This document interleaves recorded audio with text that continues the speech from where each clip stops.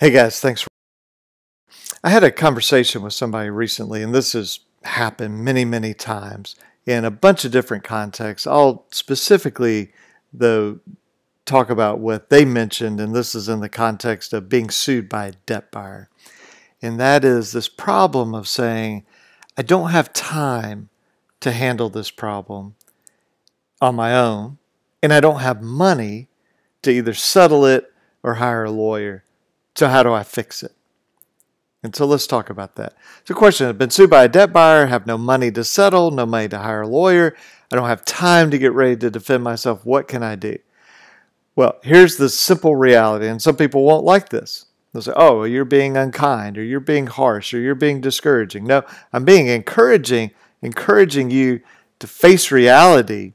And, and when I say you, I mean, it may be you, or it may be your spouse has been sued or your best friend's been sued and you're trying to help them, you, you just have to understand that any problem, you're going to spend time or you're going to spend money. So I had a problem with my car this weekend. It was terrible timing. Okay. I mean, I had a packed schedule. I'm like, this is not the time for this to happen. Well, if I did nothing, then nothing would happen it would stay broke. if I said, well, I'm going to fix it myself, well, I'm not a mechanic. I'm not mechanically inclined. I got to go educate myself on this, figure out how to do it.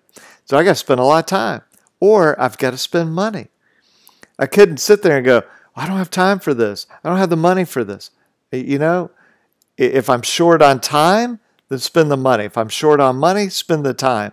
If I'm short on both, I got to figure out which one I'm going to to sort of cut on so that I can can spend either time or money. So remember this: you have five options when you're sued by a debt buyer. File bankruptcy, and some people say, "See, you don't have to spend time or money." Well, you do have to spend money on a bankruptcy, pay a lawyer, filing fees, and there's a huge cost involved for your life after you file bankruptcy. Uh, what if you fight it on your own? Well, you got to spend time getting ready. What if you settle it on your own? You got to spend money and some time, but mainly money to pay. What if you hire a lawyer to fight it? Well, you're going to be spending money, maybe time, depending on how the lawyer does it. How about if you hire a lawyer to settle it? Well, you're definitely spending money, may spend money on the settlement. So you've got to look at these. And the point of this video is not to go through these five options in detail. We have other videos for that. But just say, whatever you're doing, you're spending time or you're spending money. Now, if we say, well, I don't want to do either, no time, no money, well, then you're going to lose. And then what's going to happen? Well, in Alabama, that's what this video is for, is Alabama, we have wage garnishment. Now, some states don't have that. What does wage garnishment mean?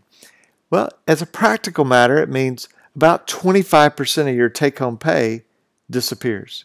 It goes to court and then they send it to the, the debt collector that sued you.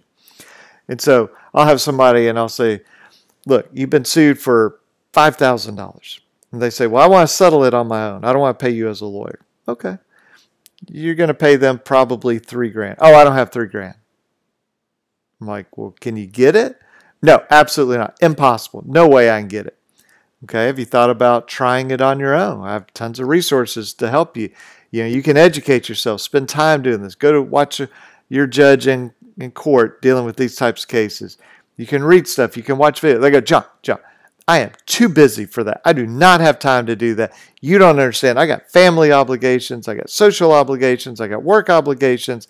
I do not have time to do that. Well, let's think about what happens if you lose. They say, well, I don't have any money. They can't take it. I go, what's your take home pay? So about $2,000 every paycheck. Okay. Well, They'll take 500 every paycheck. They go, "What? 500? There's no way. I can't pay my mortgage. If I don't have a mortgage, I don't have a place to live. I can't pay my car. If I don't have a car, I can't go to work. I can't make money.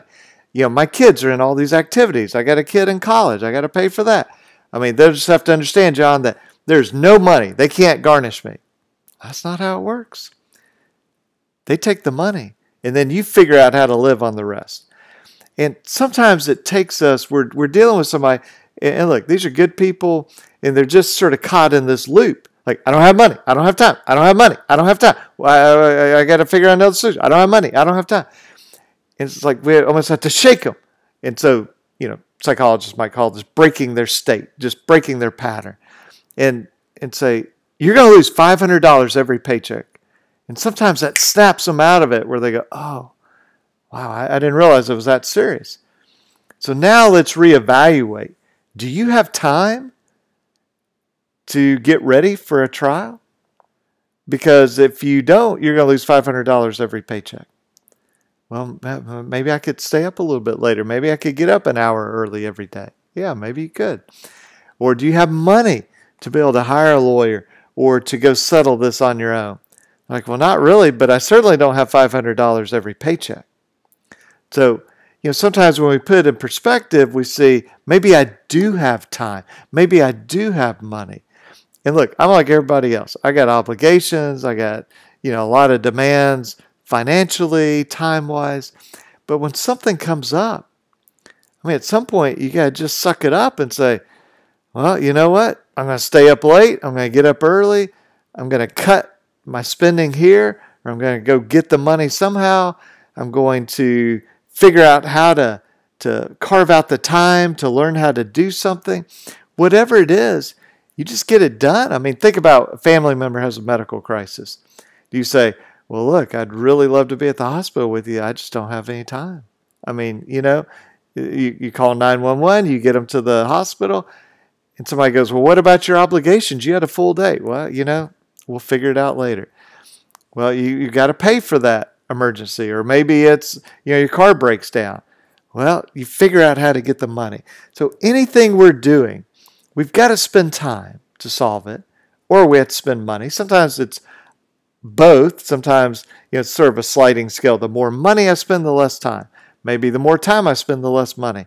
But the point is, we've got to take some action and we've got to do something. Otherwise, we lose. And this is true in a foreclosure context. It's true being sued by a debt collector, whatever it is, where we're facing a crisis, facing a real serious problem. Figure out do you have time? Do you have money? So I don't have time. Well, then spend the money. I don't have money. Well, then spend the time. If you don't have either, then figure out how to get some, either of one or both, to get this thing solved. So I hope that that's helpful. I hope it's encouraging to you just to say, you know what? Remember, you got to spend time or you got to spend money. It's one or the other. If we can help you, 205 879 2447 or alabamaconsumer.com, or you can click on contactjohnwatts.com. It'll send a message directly to me. It'll take you to our contact page on our website. And yeah, the context here is about debt collection lawsuits. This is for folks in Alabama. If you're outside of Alabama, I can't help you with your debt collection case. That's different if you're suing a debt collector. I may can work with a lawyer in your state. We may can sue them in Alabama. But in any event, if you're sued in some other state, get with a lawyer in your state and maybe they have a different approach, and that's wonderful. But I'm telling you, from my experience handling hundreds and hundreds and hundreds and hundreds of these cases over many, many years, you're going to spend time or you're going to spend money. And that's just the reality of it. All right. Thanks for watching this video, and I'll catch you in the next one. Bye bye.